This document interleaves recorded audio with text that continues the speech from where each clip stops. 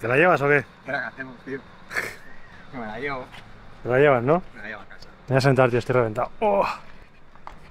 Bueno, bici probada, ¿no? La hemos probado. Poquito. Bueno, una rutilla hemos hecho, al final, por el Pardo.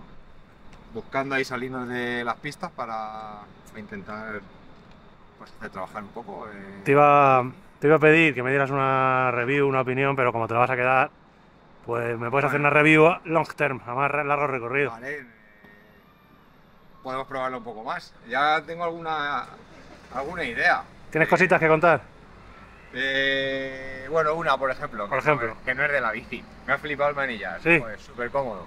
Fíjate tú, ¿eh? ¿Cómo, son. ¿cómo son las cosas? ¿Qué es lo que menos me ha gustado a mí, tío? Es muy fuerte. ¿eh? Ahora le voy a preguntar a Jota a ver qué opina, a ver si desempatamos con el manillar. y bueno, si tuvieras que definirla con una palabra o una frase corta, ¿qué, Pues- qué dirías?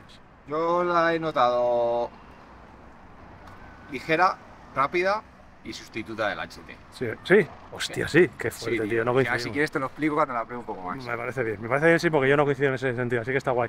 Ligera, rápida y sustituta del HT. Voy a ver Jota qué me dice del manillar y a ver qué me la define. Pruébala duro, ¿eh? Venga. Venga. Me ha hecho una review de un día, me ha dicho que se la queda, que la va a probar más en condiciones. Tú me has dicho que no la vas ni a volver a probar, que no te hace falta, Queda mi talla, tío. que no es tu talla. Corta ya el pie. Sí, Me ha parecido una bicicleta que se comporta como una rígida, pero con suspensión. sí. ¿Tú la considerarías sustituta de la Epic HT o de la Epic con Brain? Para mí de la Epic HT. creo. Yo esa mierda, tío, de verdad. Sí, tío, es como. Es que se comporta, ya te digo, se comporta como una rígida, o sea, tiene esa reactividad, no contamina. Pero no te da cule- no te da culetazos, sube- coño. Y sube muy bien. No da culetazos. Y no da culetazos. Entonces no es una rígida. Ya por eso la sustituta. te- Tienes lo bueno de la rígida, esa reactividad, esa ligereza, ese comportamiento, esa agilidad, pero te metes una tiralerita. ¡Eh! Oye, eh, tío.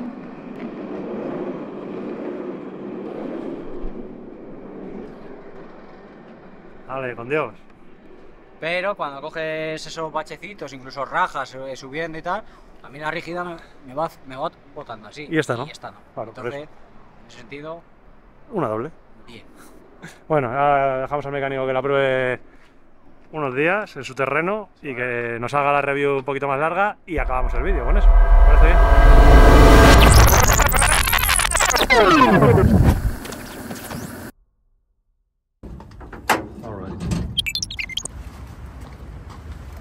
Os he puesto pedales al final. Ah, guay.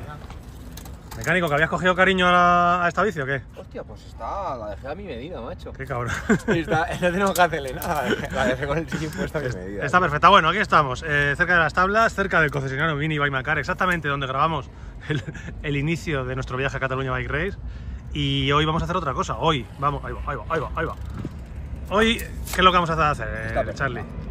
Bueno, pues como sabéis que nos gusta probar bicicletas, pues vamos a, a probarla. La, la visteis que la montamos. eh, Hay que cerrar el círculo, tío. eso es. Montamos Estuvo- la bicicleta. Estuvo expuesta, que joder, es un orgullo para nosotros. Estuvo Mucho. expuesta en Festival. Festival y en las IOTES. Ahí está. ¿vale? Y entonces ahora pues querían que nosotros fuésemos los primeros en, en probarlo, o sea que está Tiene, eh.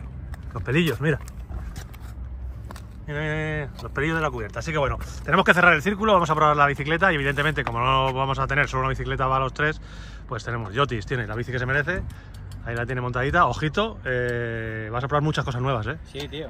Brain, bici y el RAM. Y transmisión. El XX, eh, nuevo. Eso es. Así que y ahí tú eres un buen beta tester, porque a mí como sabes que todo me da Sí, igual, lo, eh, bueno de ver. que lo primero que has preguntado, cómo ajustar el SAG y todo eso, ¿no? Sí, Eso pero necesitas. ni idea, macho. Eso me lo tiene que decir Joaquín, macho. Sé que no quieres salir en los vídeos, tío, pero nos tienes que contar, nos tienes que contar cómo, cómo ajustar un poquito la bici para Yotis. Es sencillo, ¿no? Yo- a mí me lo explicaste y me pareció bastante sencillo, pero no me hagas repetirlo. Venga. La horquilla, el ajuste de horquilla es súper sencillo, con la tabla eh, de emisiones que viene eh, detrás de la botella. Y luego el ajuste de la suspensión, igual es relativamente sencillo, o bastante sencillo. Sí, bastante. Dependiendo de cómo, eh, bueno, de cómo quieras, tenemos tres posiciones, activa, intermedia o firme. Y bueno, vamos a verlo, que es, ya digo que es sencillo. Venga. Quiero que tenga algo, o sea que no se quede con SAT cero. O sea, tú la quieres en la posición intermedia, yo creo. Yo quiero la posición intermedia. Vamos a No, probarla. Sí, sí, es la mejor, la peor, pero la quiero en la intermedia. Posición intermedia. Yo cerrado que soy gravelero. Sí, eso. A ti acuérdate que la más activa te parecía que no tragaba demasiado. Sí, a mí me parecía, yo la hubiera puesto en la activa, pero bueno, que la prueben en intermedia y ya luego nos contarán. Eso es. Vaciamos la cámara positiva y la cámara negativa. ¿Esta la vacío? Sí, con una llave del 4. Ya hemos vaciado la cámara positiva. Ahora vaciamos la cámara negativa. Como Jota lo quiere en la posición intermedia, bajamos hasta la marca del amortiguador. Posición intermedia. Vaciamos de nuevo por si queda algún, eh, bueno, pues un poco de aire residual. Y ahora dejamos que recobre el amortiguador, creando la cámara negativa. Y ahora inflamos los eh, 110 PSI 110 pesos. para el peso. De Jota, pues a, a hinchar. Que Charlie tiene que mirar su peso, claro, su peso y la tablita tienes que mirar para tablita. cambiar el S. ¿Qué peso es? Eh, 82. ¿Quieres intermedio o Abierto, venga, yo- que, que amortigüe. Ya lo he abierto mejor. Tú, quieres, tú es que me quieren poner firme, pero es que a nosotros los firmes no nos gusta. A nosotros nos gusta que amortigüe. No, no, tú ya encima es que, que la puta bici que vienes. 150 PSI? 150. Sí, tienes que bajar hasta el fondo. Hacías esa primera. Para 82 kilos, 150.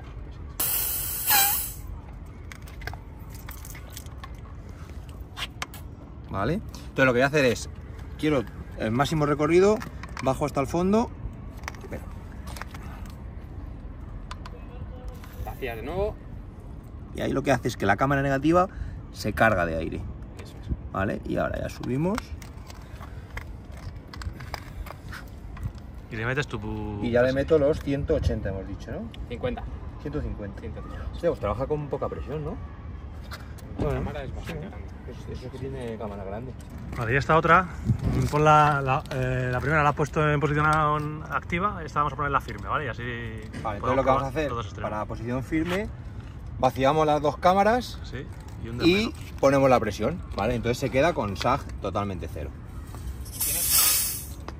Vaciamos. La presión es ligeramente menor que en activo. Tienes que poner 140 PSI. Vale. ¿Vale? Y eso no hay que hundir nada. Ahora ya me estoy viendo. Entonces, como, como no hay SAG, pues va, va a ir eh, trabajando sin, con SAG cero. En vez de 140, en vez de Ahora 150, 140. 140. Eso, es un poquito menos. 10 PSI menos. Así que eso. Que bueno, pues estamos listos, vamos a hacer una rutita con un poquito de todo. Así que ya os llevo ventaja. Mayor, culo, zapatillas. Yo todavía no. Vamos a abrir.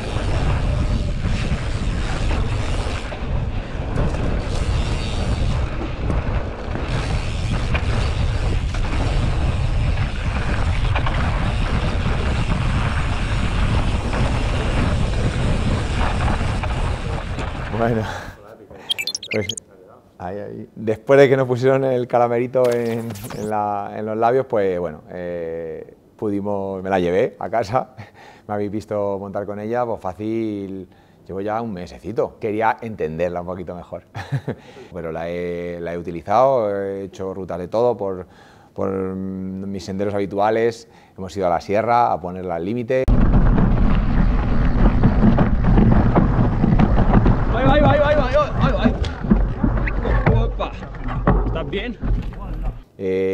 Experimentado con ella también. O sea que mucho interés porque digan, bueno, ¿y qué? ¿Qué- ¿Cómo va la bici? ¿Cómo va la bici? bueno, pues voy a intentar no enrollarme, que sabéis que es complicado en mí, pero... pero, pero he venido a hablar de mi, de mi libro, de mi bici. Así que bueno, empezamos. Venga, para no liarla mucho. Eh, diseño, ¿vale? Eh, a ver, podéis ver, diseño espectacular. Eh, se ha comentado mucho que eh, ha imitado, ha querido imitar a la, a la Trek. Yo creo que tiene unas líneas eh, muy, que, lo mejoran, ¿vale? Esa limpieza de líneas. bueno, pues al final es una bicicleta que, no es una rígida, se ve que, hay una, algo que, suspende, un amortiguador, pero bueno, una- es espectacular. Tema de montaje, bueno, todos habéis visto el Dreamville, eh, montaje con XTR. Eh, nosotros, al final, la mejor manera de probar eh, una bici es con, con lo que a nosotros nos gusta llevar, que es el XTR, que hemos probado el SRAM también, ya bueno, hablaremos algún día de, de ello, pero bueno, esta bici está montada full XTR y, y bueno, pues tope, montaje tope de gama. Muy ligera, eh, no sé si os acordáis del peso que dio en el, en.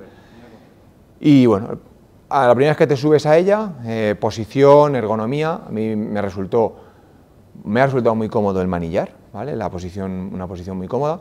Cuando te sientas, rápidamente ves que el sillín está un poquito mm, retrasado, o sea, la posición, eh, lanzamiento de horquilla, se ve la rueda adelante, eh, el, pedalier no estás muy encima del pedalier, o sea que el, el ángulo del sillín está un pelín más atrás, es una posición cómoda de, de pedaleo y eso ya directamente empieza a dar seguridad a la hora de, pues, de- afrontar alguna bajada o tal.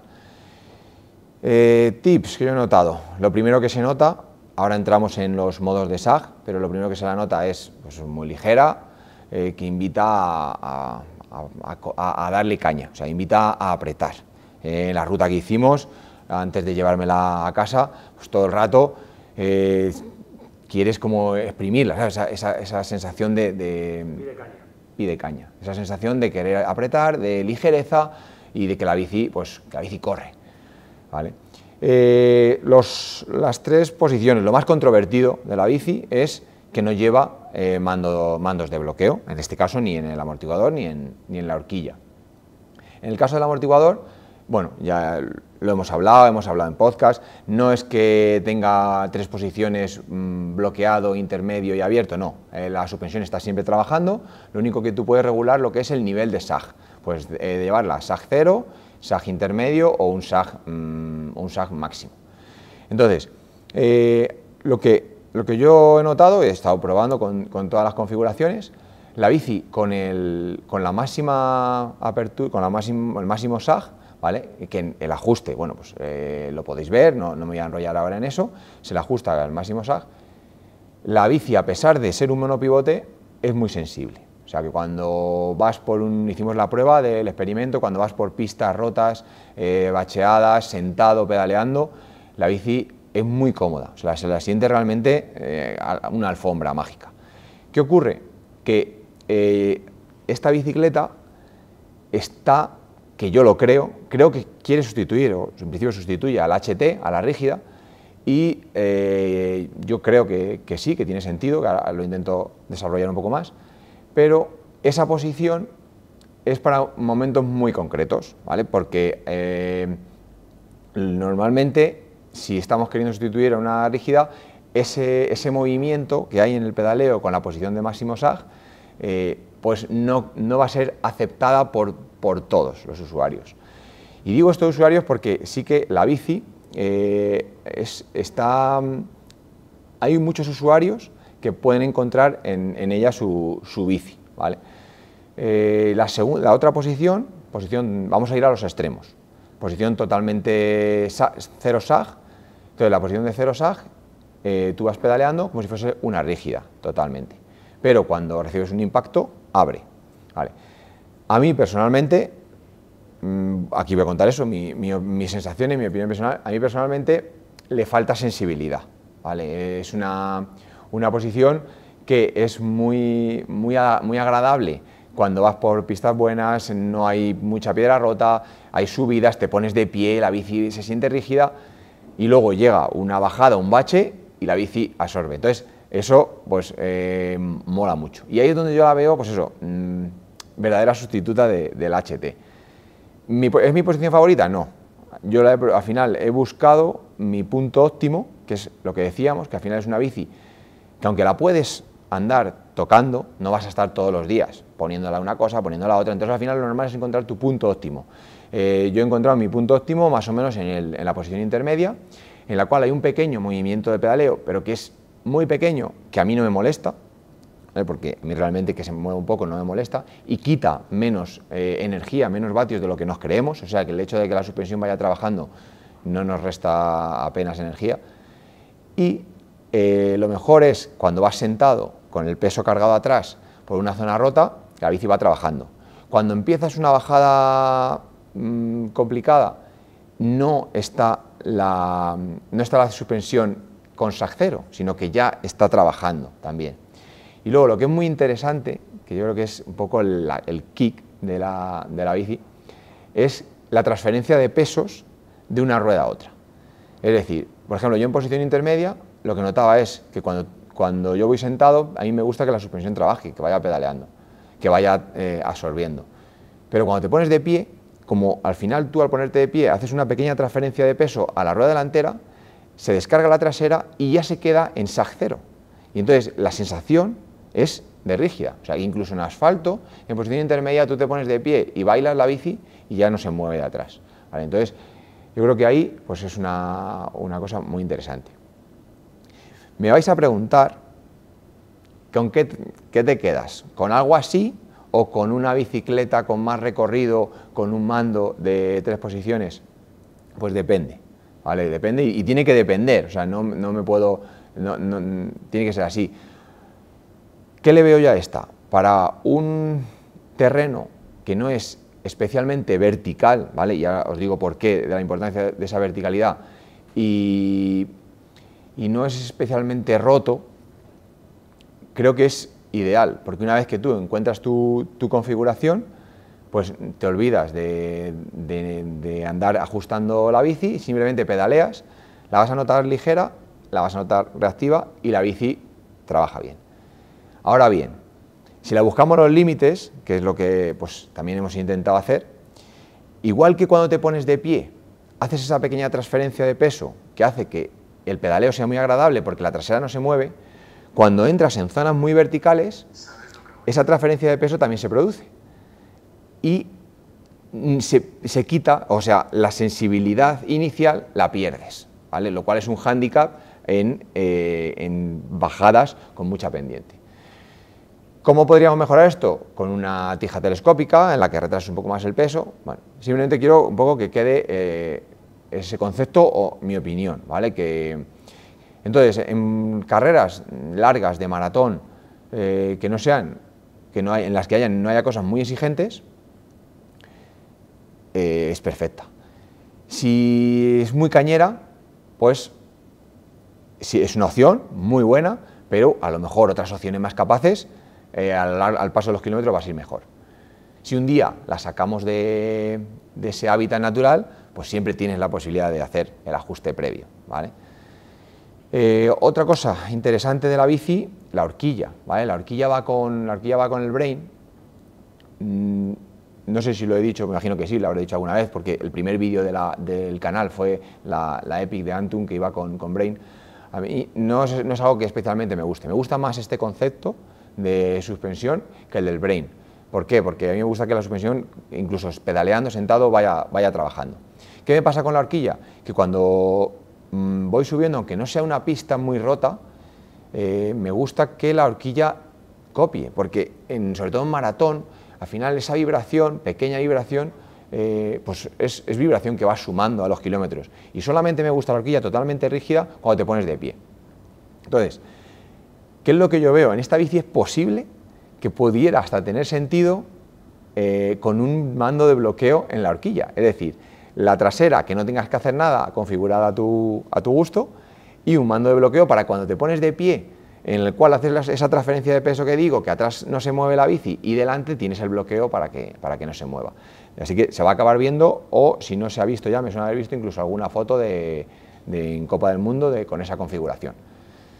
Eh, la horquilla en abierto, lo bueno que tiene es que se puede abrir y cerrar. En abierto me parece que es una delicia, o sea que trabaja, trabaja fenomenal, mm, bastante rígida, la he notado, o sea que no tiene ese efecto, esa suavidad que puede tener una, una Fox eh, 32 en este caso, por ejemplo. Eso fue, fue muy interesante porque en una ruta con, con Luis Miguel llevaba Fox 32. Nosotros nos hemos acostumbrado ya a la Fox 34, que es mucho más dura, por así decir, mucho más rígida y nos cambiamos la bici, porque, bueno, para que probar sensaciones, probar...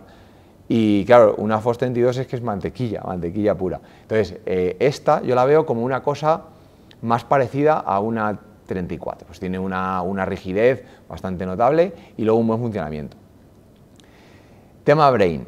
Lo bueno del Brain es que si llegas a, subiendo con el puesto, llegas arriba, eh, se te olvida, claro, luego no, si no tienes mando, bajando no, puedes sacar la mano, ¿vale? Pero como llevas el Brain, pues la horquilla va a trabajar, ¿vale? No con la dulzura que trabaja si lo llevas eh, con el desconectado, no, pero bueno, sabes que vas a tener horquilla. Entonces, bueno, pues en ese sentido es normal que Specialized quiera pues, limpiar la bici y ya está. Eh, en la prueba, en el test, eh, tuvimos otro, otro modelo con, con un poquito inferior montaje. Eh, lo, ahí sí que puede, una pega que le podemos sacar es que quizá la horquilla SIF necesite tener los mantenimientos al día, porque esa otra unidad que probamos no tenía nada que ver el funcionamiento de la horquilla con respecto a esta, que es una horquilla que está nueva.